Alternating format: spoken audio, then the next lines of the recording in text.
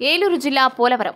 ఏలూరు జిల్లా పోలవరం మండలం స్థానిక తహసీల్దార్ కార్యాలయంలో తహసీల్ బి సుమతి అధ్యక్షతన ఎలక్షన్కు సంబంధించిన స్పెషల్ సమరీ రివిజన్ కార్యక్రమంలో భాగంగా పోలింగ్ స్టేషన్ల మార్పుల గురించి వారి సూచనల సలహాల కోసం అన్ని రాజకీయ వర్గాల నాయకులు సమావేశం ఏర్పాటు చేశారు. అనంతరం బీఎల్ఓలకు సమావేశం ఏర్పాటు చేసి పలు సూచనలు చేశారు. ఇంటర్నేషనల్ ఓల్డ్ పర్సన్స్ డే సందర్భంగా సీనియర్ సిటిజన్లను సన్మానించారు. ఈ సందర్భంగా తహసీల్దార్ బి. సుమతి మాట్లాడుతూ ఓటర్లకు పది కిలోమీటర్లు దాటి ఉంటే అక్కడ మరో పోలింగ్ స్టేషన్ ఏర్పాటు చేసేందుకు పోలింగ్ స్టేషన్లు అన్ని బాగున్నాయి. లేదా ఏమన్నా ఇబ్బందికరంగా ఉన్నాయా? ఎలక్షన్లు నిర్వహించలేని పరిస్థితిలో ఉంటే అటువంటి వాటిని తీసుకొని దగ్గరలో ఉన్న ప్రభుత్వ కార్యాలయాల్లో పోలింగ్ స్టేషన్లు ఏర్పాటు చేయడం వంటి అంశాలను గుర్తించి నాయకుల నుండి అభిప్రాయాలు సలహాలు తీసుకుని కలెక్టర్కు ఎలక్షన్ అధికారికి ప్రజలకు పంపించడం జరుగుతుందని అన్నారు.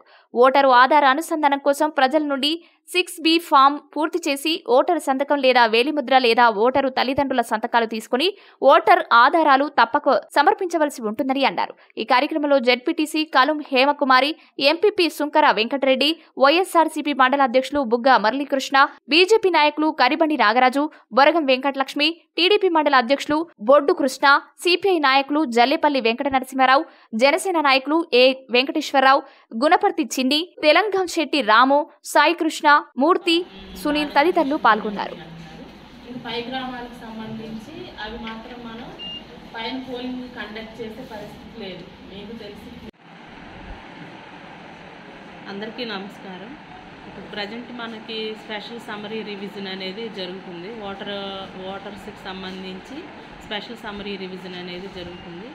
అందులో భాగంగా మనకి ఓటర్ వాటర్ ఆధార్ కార్ అనుసంధానం అనే ప్రక్రియ గురించి బిఎల్ఓలతో మీటింగ్ కండక్ట్ చేయడం జరిగింది. దానికి సిక్స్ బి ఫామ్ అనేది పబ్లిక్ దగ్గర నుంచి బిఎల్ఓ కలెక్ట్ చేసి దాని మీద ఎవరైతే క్యాండిడేట్ ఉన్నారో వాళ్ళ సంతకము ఒకవేళ వాళ్ళు అందుబాటులో లేని పక్షంలో వాళ్ళ కుటుంబ సభ్యులు వాళ్ళ మాదర్ కానీ ఫాదర్ కానీ ఎవరిదైనా సంతకం తీసుకొని సిక్స్ బి ఫామ్స్ అన్నీ తెచ్చి మాకు ఆఫీస్లో సబ్మిట్ చేయమని చెప్పి బిఎల్ఓలతో మీటింగ్ కండక్ట్ చేయడం జరిగింది.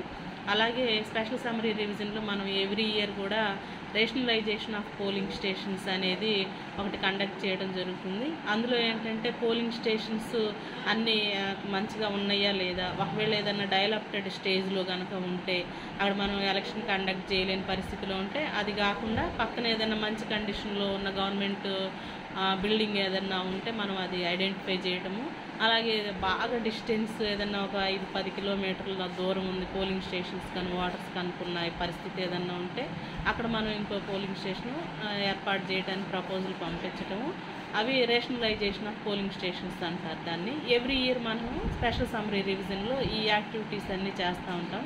అందులో భాగంగా ఆల్ పొలిటికల్ పార్టీస్తో కూడా మీటింగ్ కండక్ట్ చేసి మనకి ఏదైనా ప్రపోజల్ ఉంటే వాళ్ళలో డిస్కస్ చేసి వాళ్ళ అభిప్రాయాలను కూడా తీసుకోవడం జరుగుతుంది. అందులో భాగంగా ఈరోజు మనం ఆల్ పొలిటికల్ పార్టీస్ తోటి మీటింగ్ కండక్ట్ చేయడం జరిగింది. వాళ్ళ సూచనలు సలహాలు కూడా తీసుకోవడం జరిగింది. దాన్ని బట్టి మనకి ఏమైనా ప్రపోజల్స్ ఉంటే కనుక ప్రభుత్వానికి కలెక్టర్ గారికి తద్వారా ఎలక్షన్ కమిషన్కి ప్రపోజల్ పంపించడం జరుగుతుంది. పెద్దడు తాతలకు ఇటు చూడండి మేడం గారు. ఎన్ని సంవత్సరాలు?